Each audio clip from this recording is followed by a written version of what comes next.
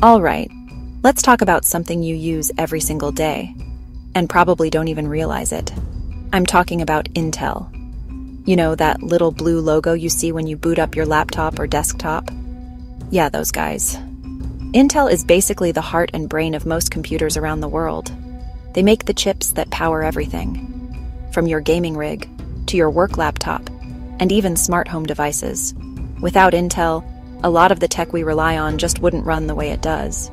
It's behind scenes, but everywhere. They've been around since 1968.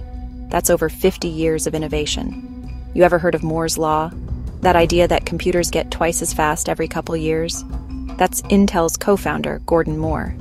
So, Intel isn't just making chips, they're literally shaping the future of computing.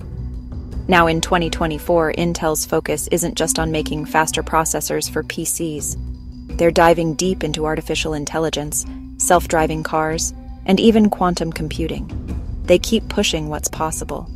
Their latest chips are in powerful gaming laptops, to servers powering the internet. That's why you see Intel inside everywhere. It's the silent engine of modern tech. But here's a quick 15 second recap.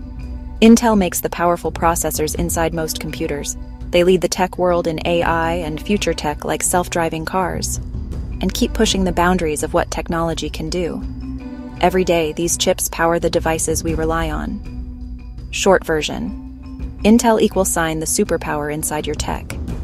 So, if you're into tech, gaming, or curious about where your devices get their superpowers, this channel will keep you ahead of the curve.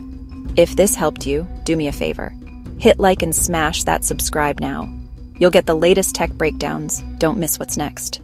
Thanks for watching. I'll catch you in the next one. Hit subscribe and join the tech crew.